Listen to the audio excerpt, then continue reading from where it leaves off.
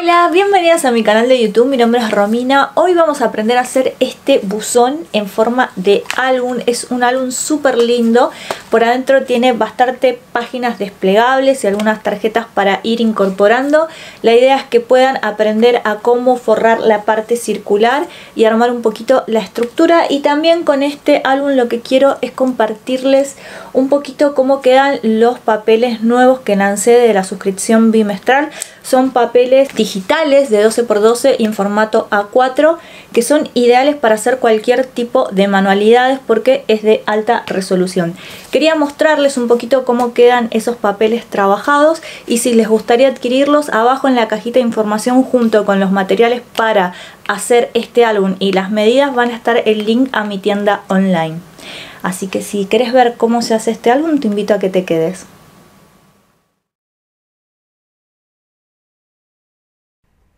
Lo primero que quiero hacer es mostrarles estos papeles que están disponibles en mi tienda online. Son papeles que tienen que ver con la suscripción bimestral. La suscripción bimestral son papeles que saco juntos, son dos colecciones juntas de básicos, de papel decorado, con Daika, con tarjetas, con sentimiento para cubrir el costo mensual de las herramientas para diseñar. Es por eso que saqué la suscripción bimestral. Al ser un lanzamiento por única vez van a tener tres colecciones. Una es correo bonito, la otra es cosiendo juntos y la de verano. Hoy voy a trabajar con correo bonito. Y eh, para hacer este álbum no necesitan utilizar sí o sí estos papeles, pueden hacerlo con lo que tengan a mano. La idea es que vean cómo se forra una estructura semicircular y que esto les sirva a modo de inspiración si quieren ver otros videos. Yo imprimí dos papeles en lo que sería papel vegetal y la verdad que quedan bastante lindos, lo pudieron ver antes. Vamos a cortar estos cartones, las medidas las van a ver ahí en, el video, les voy a dejar bastante tiempo para que puedan anotarlos.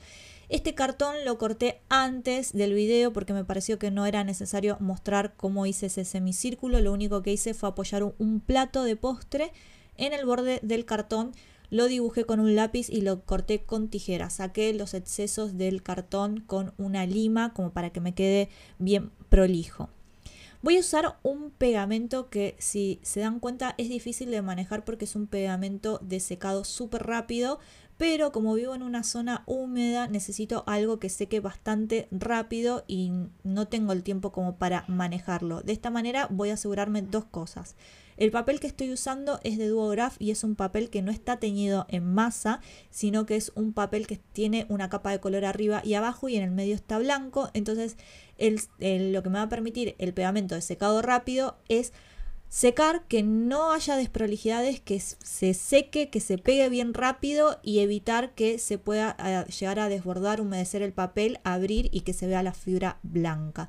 Y la otra es que como estoy grabando un video y necesito hacer el proceso largo, si bien la duración duró 5 horas, necesito que eh, por una cuestión práctica seque más rápido.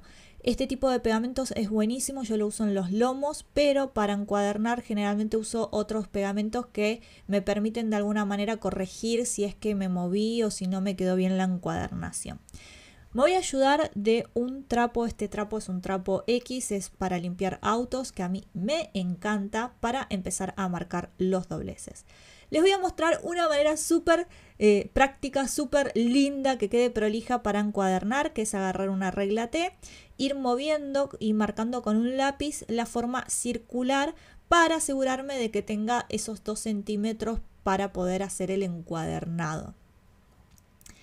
Fíjense que queda súper prolijo eh, y pueden usarlo para encuadernar.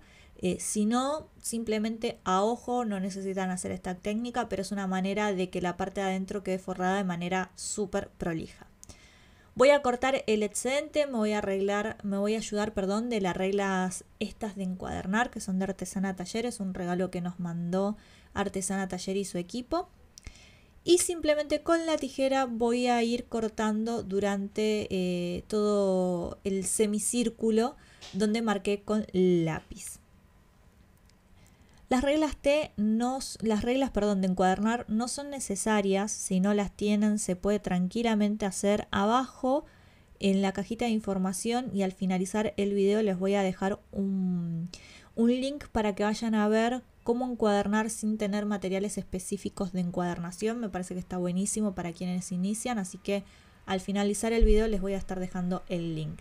Voy a dar vuelta este cartón y voy a marcar. Fíjense que quedó bien marcado. Esto es porque los cortes lo voy a hacer hasta la línea donde marqué.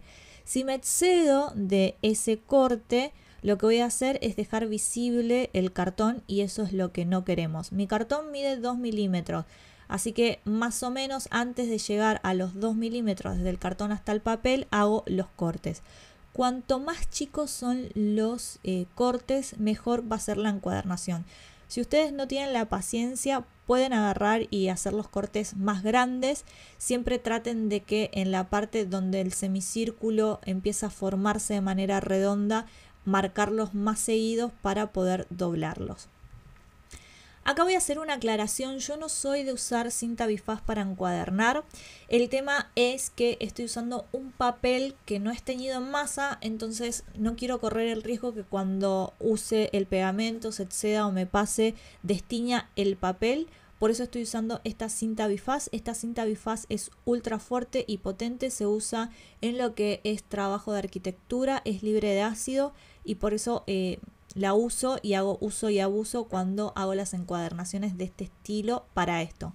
Cuando uso papeles que están teñidos en masa, que yo sé que son buenos, que son resistentes, que tienen un gramaje que soportan la humedad del pegamento, uso pegamento, porque el pegamento siempre nos va a dar la posibilidad de que el trabajo dure más, que sea mejor y que esté pegado de manera correcta.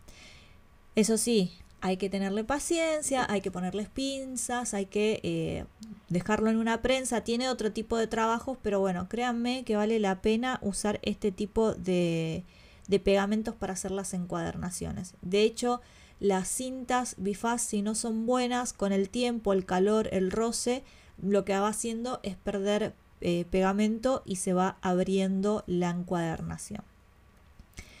Fíjense que es una manera súper sencilla, hasta acá es lo que venimos haciendo en el, en el canal. La forma de encuadernar sigue siendo la misma, pero la parte de semicírculos yo no corto los excesos, siempre dejo 2 centímetros porque creo que visiblemente cuando forramos la parte interna se ve mejor. Lo que sí hay que trabajar bastante el papel y tienen que agarrar y empezar a ponerlos con paciencia, con mucho amor y demás. Acá cambié el pegamento y estoy usando un pegamento que no es de secado rápido simplemente porque necesito de alguna manera ir reforzando lo que voy pegando con mucha paciencia. A mí me llevó mucho tiempo este video. Son 5 horas de encuadernación. Lo disfruté un montón. Ustedes lo están viendo en una velocidad de 1.5 de 2.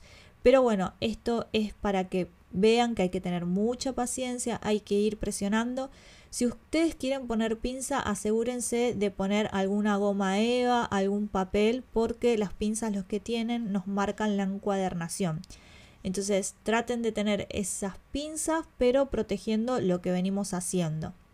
Por eso yo no uso pinzas, no porque no sean útiles, sí son útiles, pero lo que hacen es marcar el papel por la presión que ejercen vayan pegando de a poco, lento. Yo puse un pegamento y después fui reforzando porque como les comenté es un pegamento de secado lento. Entonces a medida que voy avanzando tengo que ir aplicando, reforzando y demás. Los excesos los sacan con un papel, una toallita húmeda, siempre y cuando el papel no, no sea uno como el mío que no es teñido en masa. Fíjense que ahí lo que voy haciendo, aprovechando que el pegamento no seca rápido, es ir de alguna manera aplanando los, eh, los puntos donde me quedó, digamos, esa punta triangular que no queremos.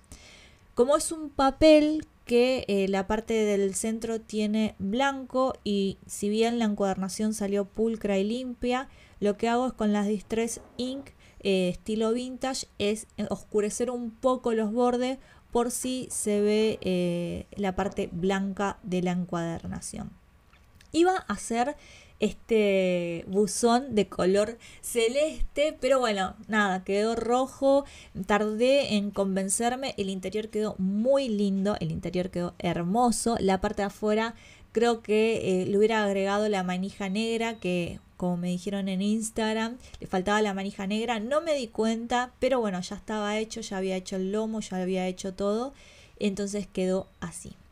Vamos a hacer el lomo y el lomo vamos a marcar bien perfecto los bordes porque las eh, solapas, digamos la parte de las tapas y la contratapa van a ir pegadas bien al ras de donde hago para marcar porque esto lo que me va a permitir hacer es, una encuadernación donde el lomo esté interno. Esto se ve mucho en scrapbooking, yo cuando hago cuadernos no, no hago este tipo de encuadernación, hago otro eh, forro de, otra manera, pero bueno, en scrapbooking se usa mucho, es una, una técnica bastante linda, bastante sencilla, muy muy fácil de hacer, no tiene gran ciencia y además es ultra práctica.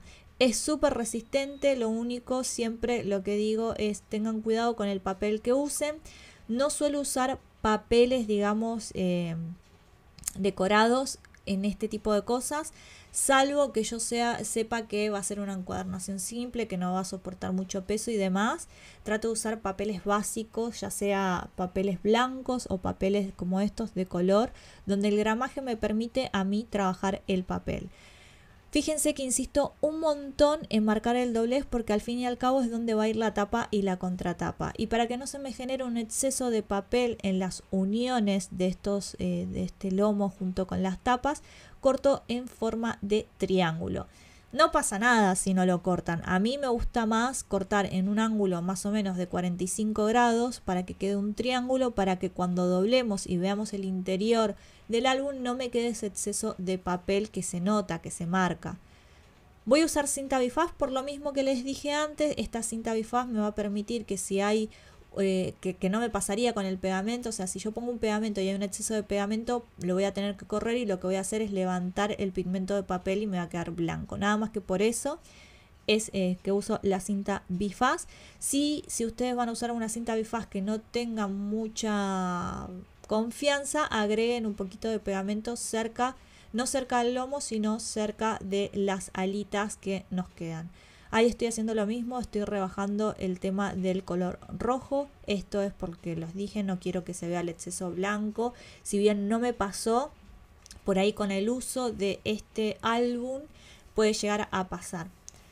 Me voy a ayudar de mi mat de corte. Yo amo mi mat de corte. Me ayuda un montón a la hora de poner las cosas bien rectas y lineales. Tengo una fascinación por el tema de las cosas que sean perfectamente lineales.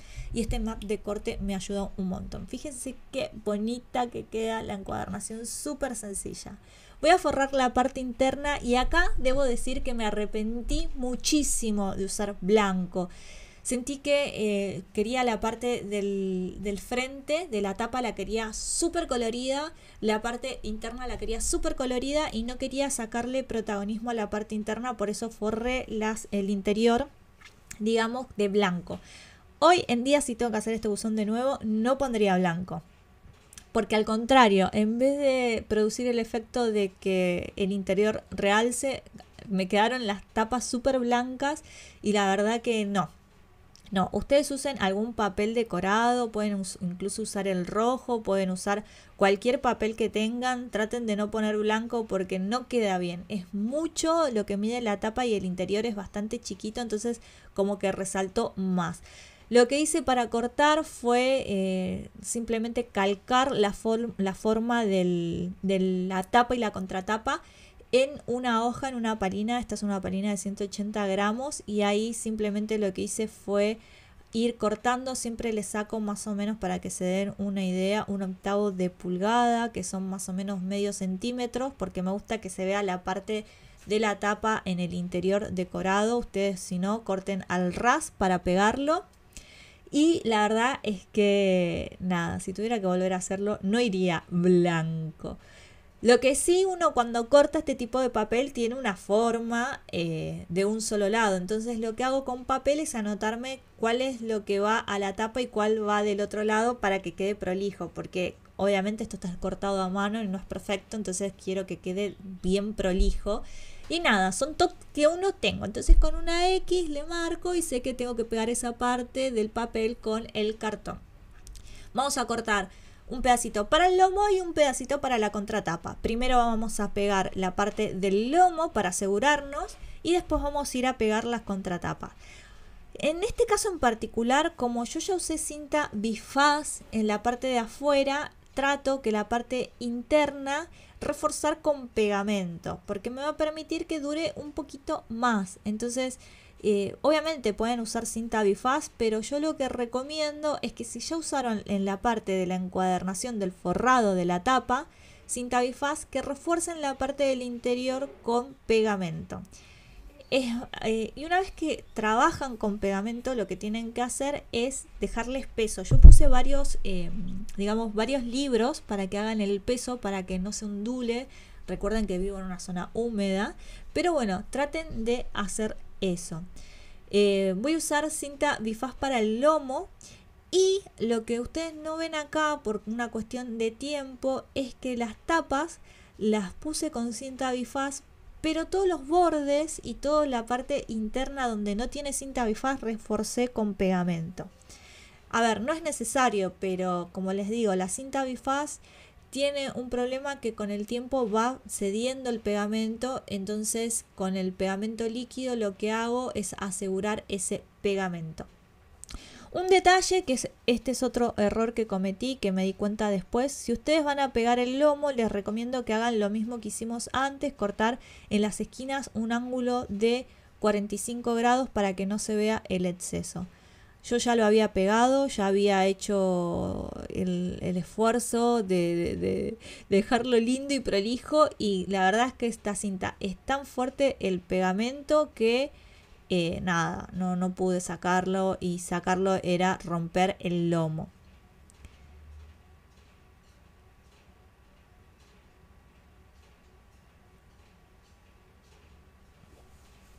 Siento que se mueve mucho la cámara en este sentido y es porque está en una velocidad rápido, porque imagínense que tardé un montón, pero no sé por qué se mueve la imagen, porque yo no me movía, no se movía todo, así que les pido mil disculpas.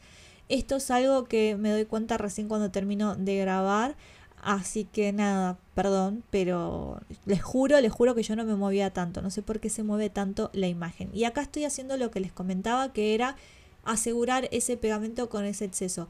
Ojo con ponerle mucho pegamento, porque cuando nosotros hacemos presión del papel, el pegamento va a salir a los bordes y justamente lo que estamos evitando, por lo menos en esto que estoy usando papel eh, que no está teniendo masa, es que no salga ese pegamento a los bordes para no desteñirme el papel. Así que sean muy cuidadosas con los papeles que, que usan y con el pegamento que usan. Vamos a forrar una tapa, sigo con la otra, me ayudo de este paño para poder, digamos, de alguna manera asegurar y fijar el pegamento.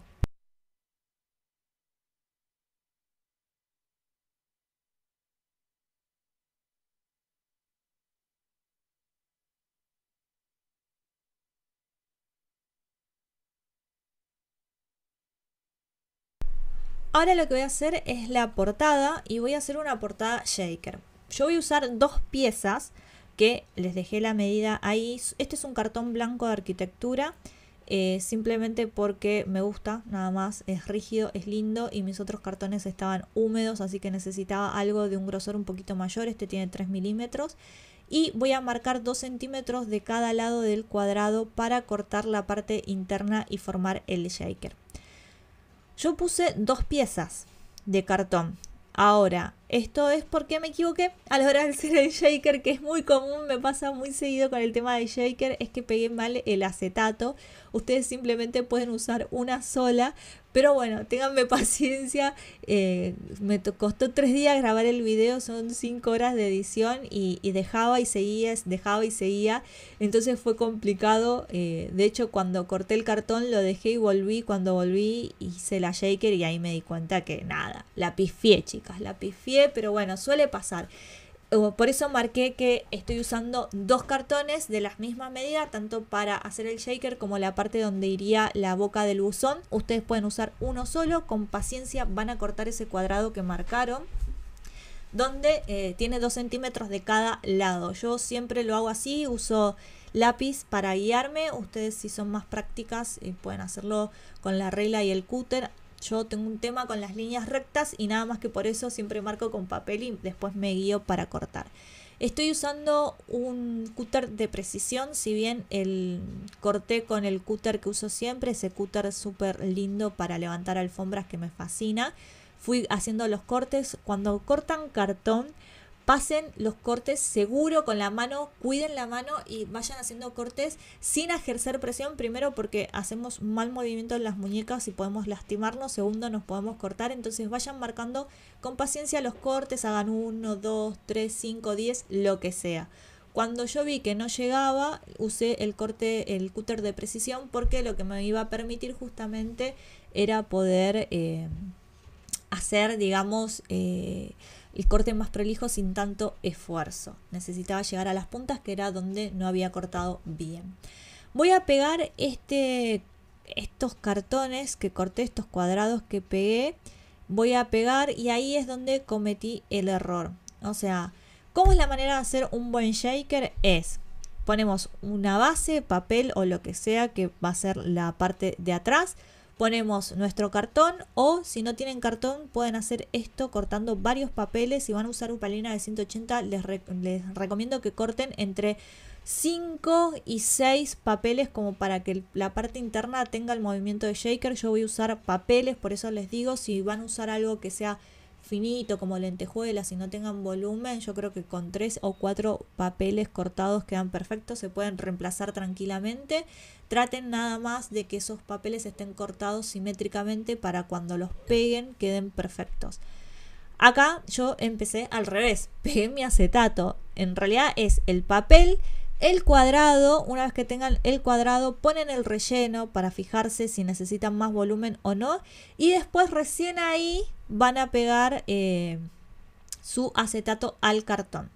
Fíjense qué bonito que quedan los papeles en, impresos en acetato, en, papel vegetal, perdón, le digo acetato porque en realidad este es un papel vegetal de casi 320 gramos, es ultra grueso eh, es muy malo usar uno tan grueso porque como es un acetato y es bien firme y es más fuerte que el papel, cuando marqué los dobleces lo rompí. De hecho lo van a ver en el video más adelante. Pero bueno, como este papel vegetal se pierde en el fondo rojo, simplemente lo que hice fue pegarle un papel blanco de opalina para eh, que se note un poco el, digamos, la trama de lo que hay atrás. Eh, si no tienen papel de eh, vegetal, no se preocupen, pueden usar un papel sólido, pueden usar un papel de cualquier estilo, no necesitan, em, digamos, absolutamente nada. Incluso puede ser, ya al tener shaker, ya al tener un montón de figuritas al frente, no necesitan que el fondo sea digamos, de un papel decorado. Yo lo hice porque me pareció que visualmente y estéticamente quedaba mejor, porque cuando ponemos el álbum parado, el shaker baja, entonces el fondo queda ese toque de papel decorado. Estas, estas, no sé cómo llamarlo, porque en realidad cuando lo compré me dijeron que era glitter grande, pero para mí son lentejuelas en forma de, estrellas y me fascina.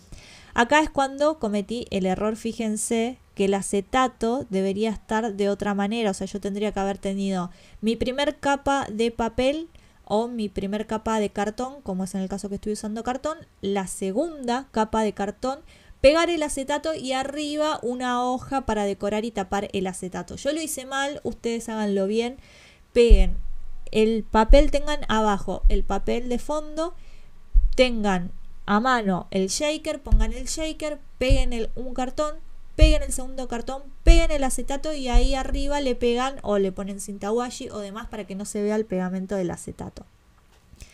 Acá voy a fijarme cómo pegar, lo pegué eh, con papel decorado y les puse pinzas para reforzar y lo dejé con peso. Esto lo hice al día siguiente porque eh, tiene, a ver, eh, piensen que estoy pegando papel con, digamos, con cartón no es cartón con cartón, es papel con cartón. Entonces necesita peso, necesita tiempo para secado y necesitamos asegurarnos que quede bien. Yo le, lo dejé un día entero y le agregué mucho peso arriba. Como que me quedó bastante digamos, bastante volumen en ese cuadrado. De costado se podía ver la parte gris y no me gustaba. Corté unas tiritas de 5 milímetros de la marca de Duograph, el Foy dorado, para cuando yo veo de costado este shaker, no tener esa visión gris que a mí particularmente no me gusta, pero no, no es que queda horrible y queda mal, sino que es un detalle más que uno le agrega entonces forré con foil dorado. Si ustedes no tienen foil dorado, pueden usar el papel. De hecho, mi álbum de artesana taller usé los, los, retan los, a ver, los pedacitos de, de papeles restantes que me quedaron, lo usé y los corté en la tirita y fui pegando con mucha paciencia al costado, mucha paciencia.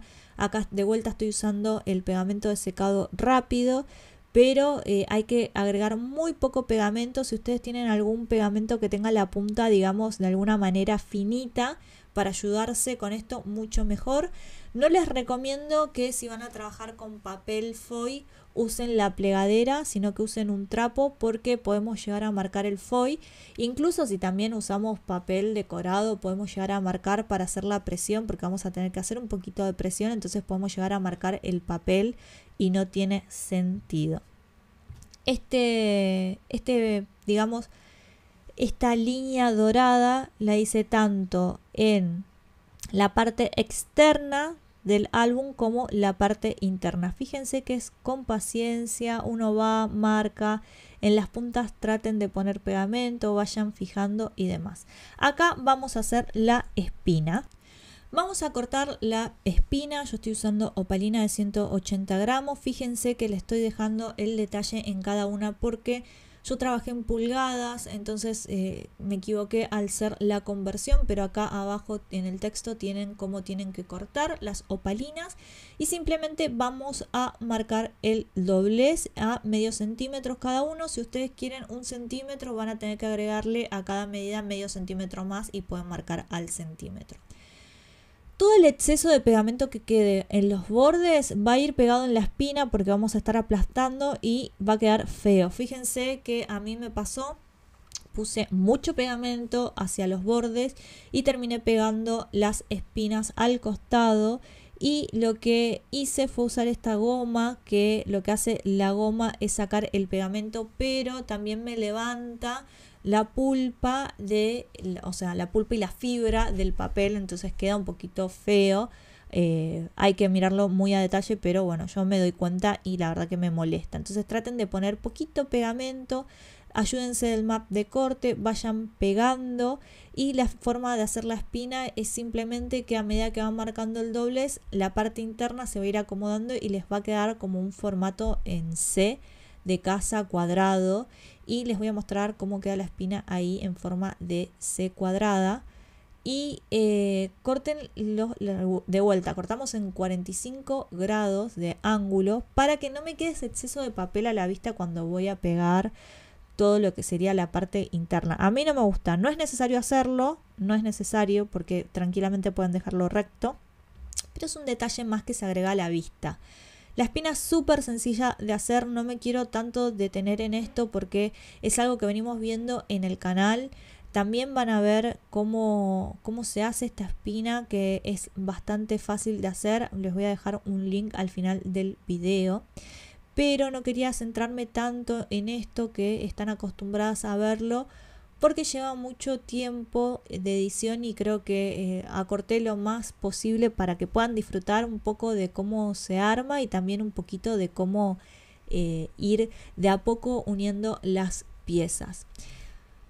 Sean muy prolijas a la hora de pegar. Esta espina les va a sobrar tanto de arriba como de abajo y de los costados porque no quería que me abarcara todo el lomo porque como las, eh, las solapas se van a desplegar y se van a abrir, no quería que eh, llegara al borde y estar con, con, esas hojas que después se doblan y queda un poquito feo. Voy a cortar papel decorado, yo los imprimí de un solo lado, entonces la parte interna me queda en blanco. Y lo que hice fue cortar cuadrados. A ver, las medidas que yo les paso son las medidas exactas para replicar esto. Ustedes pueden ir agregando o sacando, pero si van a agregar y van a sacar tamaño, también lo tienen que hacer con la espina. La estructura de adentro es sencilla, quería ser desplegable, quería poder usar todos los papeles. Cuando yo trabajo con las hojas para desplegar hacia los costados, la parte interna me gusta que se vea esa veta blanca que forma como, como enmarca la parte de adentro. Entonces, lo que hice a las medidas que le pasé, simplemente las hojas internas le saqué un octavo de pulgada o medio centímetro de cada lado para que me quede bastante lindo. Fíjense que es fácil de componer, es sencillo. La parte de la decoración no la filmé porque creo que cada una debería agregarle su toque a la manera de cómo decorar. Sí les voy a mostrar cómo hago las hojas internas que ahí las pueden ver de a poquito. Les voy mostrando cómo las compongo y después las voy pegando para que vaya quedando bien. La decoración tiene que ser libre de cada una y lo tiene que hacer, digamos, a la personalidad y a la estética y al gusto de cada una. Creo que la parte de la decoración es la parte más sencilla y fácil, entre comillas, porque tengo un montón de proyectos que todavía no terminé de decorar, pero creo que es la parte más relajada que no necesitan técnica a la hora de poder hacer una decoración. Voy a empezar a pegar estas hojitas. Recuerden que las marqué a la mitad para poder eh, trabajarlas. Me estoy ayudando de un pegamento en barra, pero este pegamento en barra lo que tiene es que había mucha humedad ese día y no secaba. Entonces cada vez que iba a aplicar la hoja como que el pegamento se salía fácil y bueno. Fíjense que de hecho quise, me olvidé de pegar la primera eh, pestaña, la primera hoja desplegable y fue muy fácil sacar ese pegamento. Así que dejé de insistir con el pegamento en gel. Este pegamento en gel yo lo recomiendo muchísimo para encuadernar, es muy bueno, pero la realidad es que al estar en una zona muy húmeda no tenía la paciencia para esperar a que se seque. Estoy aplicando de esta manera es como pego yo las hojas internas, es decir, en esas pestañitas que nos quedaron en forma de C, de medio centímetro o de un centímetro, como a ustedes les guste más, lo que hago es pegar y asegurar bien que quede pegado. Estoy usando un pegamento que es de secado lento, lo paso por un lado, no pongo exceso de pegamento, hay que poner poquito pegamento, por eso me estoy ayudando de este frasco que tiene una punta fina y que el pegamento que sale es muy poco pero eh, traten de ir conociendo un poco eh, los pegamentos que tienen a mano, el clima, el papel y demás, que solamente se los va a dar la experiencia de trabajar con ellos. Acá estoy haciendo una de las hojas internas, es un sobre y eh, voy a marcar, digamos, para que no me quede ese celeste súper sólido, voy a decorar con un pedacito de papel vegetal que me quedó. No sé cómo le dicen en otros países el papel vegetal, papel de calco creo que se llama. No sé cómo le dicen en otros países, pero bueno, me gustaría saber. Así que abajo en la cajita de comentarios me dicen cómo se llama en su país, que me interesa mucho tener el conocimiento de cómo se llaman las herramientas que usamos en otros países y cómo les dicen. Fíjense qué linda que queda la combinación de papeles. Realmente esta colección es muy bonita. La verdad que si pueden comprarla se las recomiendo. Y si no, eh, fíjense que también hay papeles gratuitos en mi blog. Eh, abajo también les voy a dejar el link que pueden usar los de San Valentín, los de Navidad, cualquiera. O sea, la temática en sí eh, se puede adaptar a un montón de cosas porque es un, es un álbum que si le sacamos la parte de adelante y la decoramos de otra manera sigue siendo un álbum como con ese semicírculo y lo pueden hacer con cualquier otro tipo de papeles. Quiero hacer una pestaña para poder eh, agarrar, digamos, esa, esta hojita que va a ir en ese sobre que armamos y la voy a pegar de esta manera con este acetato. Acetato, sigo insistiendo con acetato. Lo que pasa es que es un papel muy grueso, entonces le digo acetato, pero Romina no es un acetato. Bueno, es un papel vegetal y eh, la verdad es que el pegamento tardó en quedarse, así que les recomiendo que usen algún pegamento de secado rápido porque fue, es grueso, tardó en secarse. De hecho, después del video cuando terminé quise sacar esto para mostrárselo salió y se zafó, pero bueno, una vez que pegó quedó bastante firme. Ahí voy a aplicar las tarjetas, que esto ya tiene que ver con la decoración. Ustedes pueden aplicarlo de la manera que les guste y quieran. Las voy a dejar un poquito con la música para que vean cómo está pegado. No hay mucha ciencia, solamente que no pongan exceso de pegamento. Así que nada, nos vemos en un ratito y les cuento un poco cómo quedó la decoración.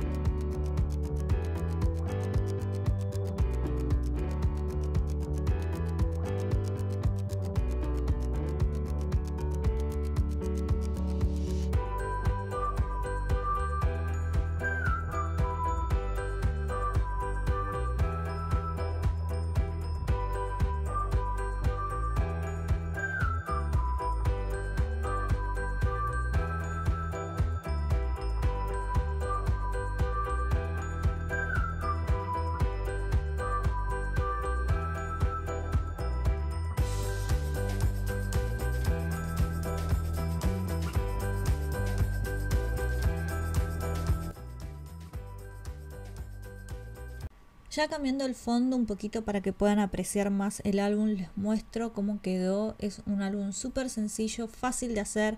Por ahí lo complicado es la parte de la encuadernación del semicírculo, pero es muy lindo internamente. En el lomo lo que hice fue cortarle, perdón, hacer dos agujeritos, pasar los ojalillos y pasar un cordón dorado para darle un poco de detalle cuando lo guardemos y que el lomo se vea bonito. Ustedes pueden agregarle cualquier tipo de detalle que tengan ganas de eh, hacerle en el lomo. Yo quería dejarlo sencillo, simple, solo con ese detalle. Y fíjense qué bonitas quedaron las estructuras internas súper, súper lindo, sencillo de hacer. Tiene más o menos para que se den una idea, capacidad de entre 18 y 20 hojas para pegar fotos y demás. Nada, quería comentarles también que este álbum está en la venta en mi página web por si lo quieren comprar. La realidad es que no puedo seguir teniendo más álbumes, no me da la vida para guardar todos los trabajos que hago, así que voy a empezar a vender mis álbumes. Espero que este video tutorial les haya gustado, que los disfruten, si tienen alguna duda, si tienen algo, algún comentario para mejorar, me dejan abajo en la cajita de comentarios y con gusto las leo. Es un video un poquito largo a lo que estoy acostumbrada pero realmente los disfruté. Es un taller gratuito que se, los quería compartir, una forma de aprender un poquito mejor mano a mano. Pero bueno, las veo la semana que viene con otro video tutorial y les voy a dejar un poquito el show que armo antes de filmar los videos con unos bloopers. Les mando un beso enorme, nos vemos la próxima semana. Chau chau.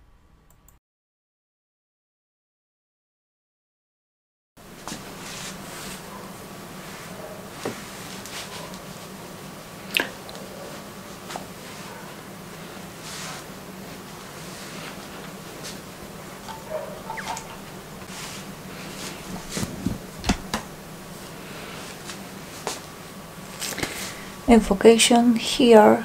Un, dos, tres. Hasta me vestí de rojo para la ocasión.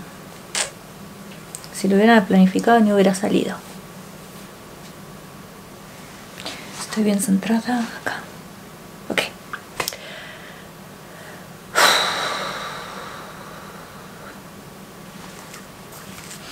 El fondo como que se ve un poquito mejor.